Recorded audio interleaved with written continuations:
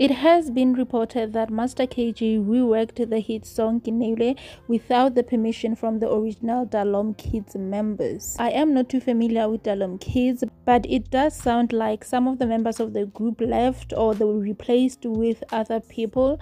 According to Sunday World, the original Dalom Kids who were involved in recording the original Keneilwe song are currently struggling and they did not give their permission to have that song reworked on.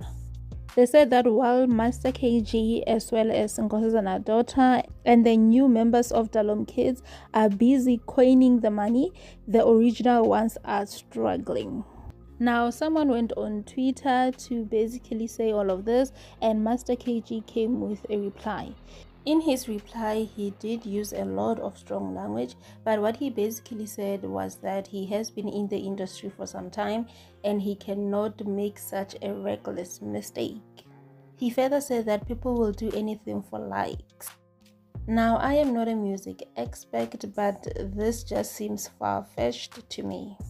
If you have left the group or you have been replaced, I mean, does one still have the rights to those music? And even if they do, shouldn't they take that up with the record label? It has absolutely nothing to do with Master KG. Anyway, tell me what you think in the comment section. While you're doing that, please don't forget to like, subscribe, and share this video. And I will see you on the next one. Bye.